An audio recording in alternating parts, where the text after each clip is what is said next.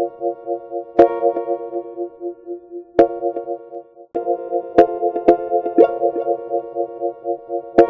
caso es que el chino me dice de entrada, cobro 3 mil pesos, ¿a quién hay que quitarle encima?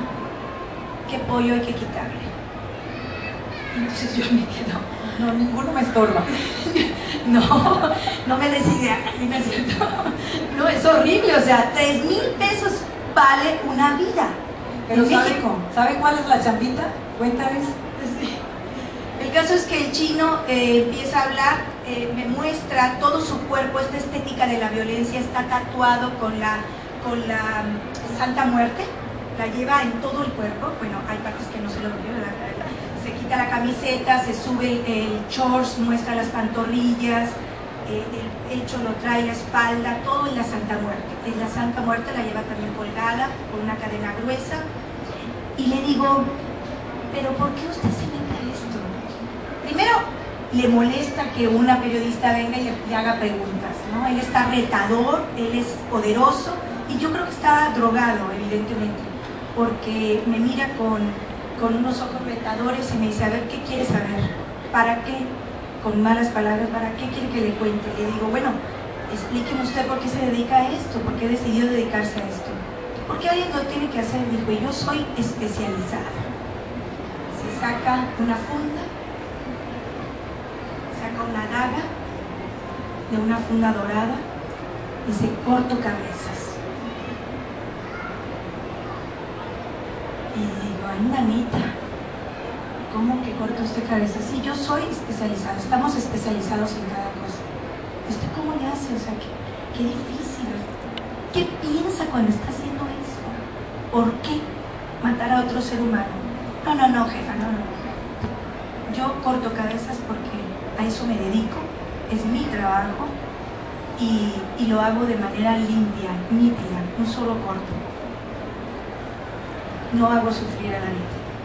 Bueno, eso no, no, no lo creo yo, porque claro, lo que hemos visto de la barbarie, que incluso lo podemos ver en el blog del narco, ya no hay censura, ya está todo en internet, vemos esos videos sanguinarios y podemos ver claramente que hay tortura en, en todos los niveles. ¿no? Entonces, eh, el chino forma parte de esta estructura del sicariato, la, la sicaresca, como se le llamó en Colombia, fue un género narrativo, la sicaresca. Y aquí el sicariato, a pesar de que está empezando, pues está verdaderamente ya muy bien, eh, yo creo, establecido y está generando muchos empleos a mucha gente, o sea, particularmente jóvenes.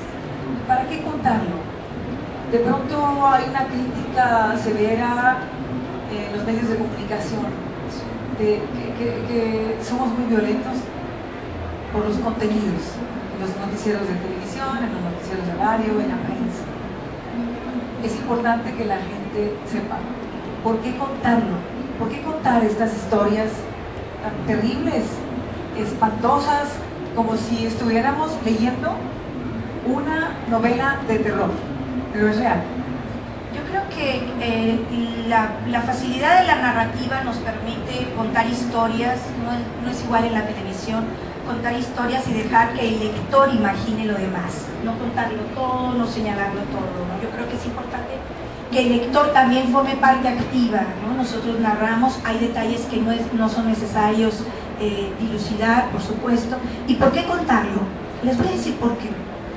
Hay silencios ominosos. Esta guerra está llena de silencios. Y como les decía, hay que romperlos. Esos silencios muchas veces lo que provocan es más crímenes, más desaparecidos, más dolor, más sufrimiento. Lo vemos, por ejemplo, con el tema de la violencia de Estado. Aquí lo popular es hablar de la violencia del narco, de lo sanguinario que son, de cómo más está bien, lo abordamos, lo exhibimos. Pero hay otra parte, la violencia del Estado, es decir, la violencia del el ejército, de la marina, de la policía federal. Esa es una violencia que no está reflejada particularmente en muchos medios de comunicación porque pareciera que tenemos que los periodistas que dar la imagen de que vamos ganando esta guerra.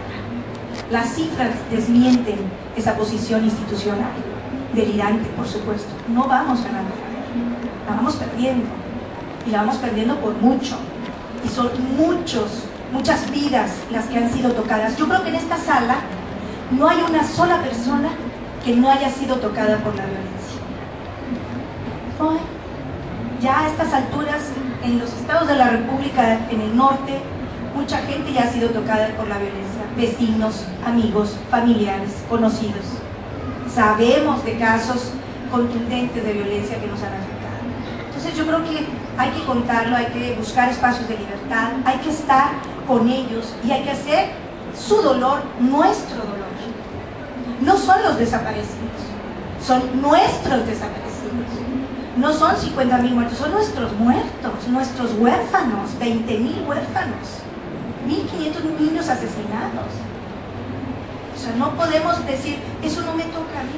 A mí en la violencia no tiene nada que ver conmigo en mi vida, afortunadamente, gracias a Dios, no me ha tocado.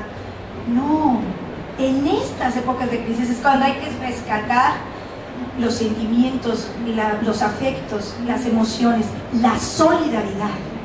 Y la mayor expresión del amor es la solidaridad hacia el otro. El no ser, tú lo preguntabas hace rato, el no ser inmunes ante el dolor de los demás.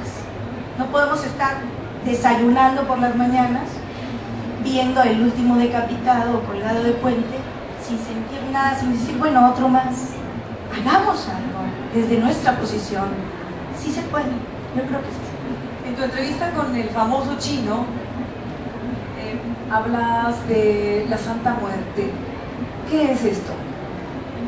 E, e, esta, es, eh, esta religión, esta nueva religión, existe, es, es, un cuento, es una leyenda urbana.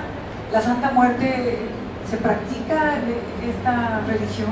¿Cómo, cómo llamarlo? Bueno, no está aceptada por la Iglesia Católica, no pero yo creo que es práctica.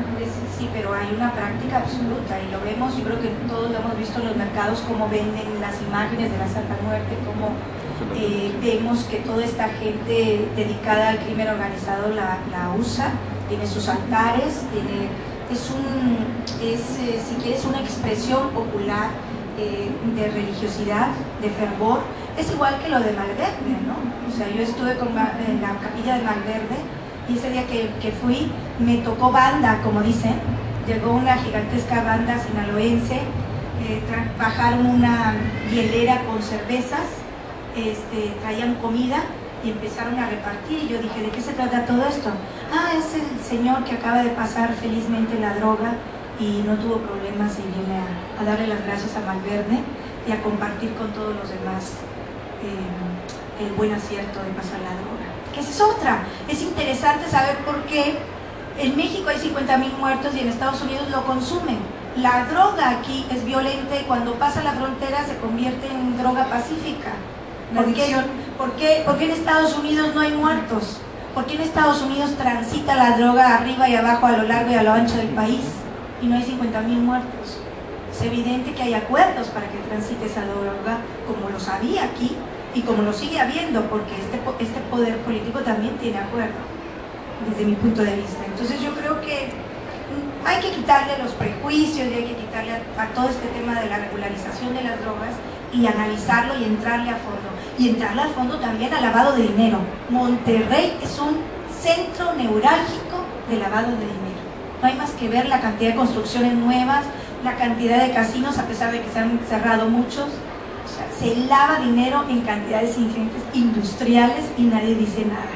¿Por qué no se castiga el lavado de dinero? ¿Por qué no se persigue debidamente?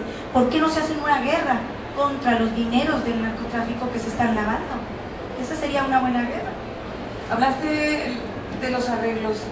De pronto pareciera que cuando la situación está fuera de control, con tantos enfrentamientos, balaceras, matazones y escenas espantosas, cualquiera pensaría esto está fuera de control.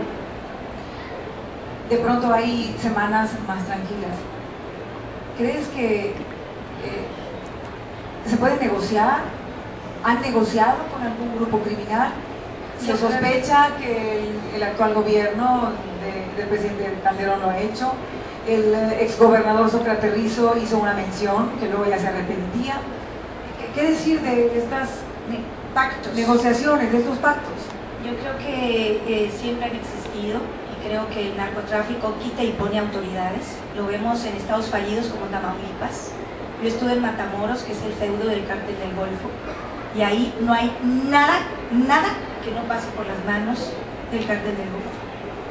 Eh, el mismo alcalde que yo lo fui a entrevistar, al alcalde de Matamoros, para preguntarle sobre la actividad criminal del cártel del Golfo, se fue por la tangente, no preguntó, terminó la entrevista, una entrevista difícil, se fue y al irse van dos, tres coches blancos custodiándolo y yo pregunto, ¿quiénes son ellos?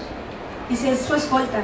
Ah, la escolta, pero ¿por qué no es, son vehículos de policía? No, es la escolta del, CDG, del cártel del Golfo, que lo custodia al alcalde.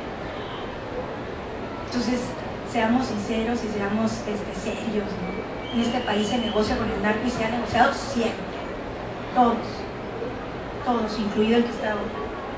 Entonces, ahí están las cifras, ahí están los hechos para demostrar.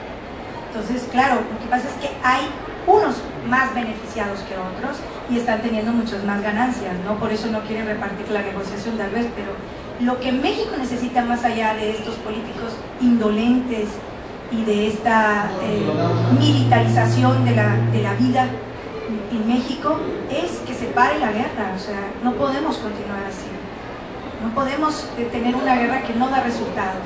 Necesitamos una nueva estrategia, de otra manera, con otro combate, depurando las policías, haciendo educación, eh, educando a la gente, ¿verdad? Eh, dándole una distribución de la riqueza al país necesaria que eso es muy importante, la desigualdad social está generando también esto y nadie se cuestiona eso.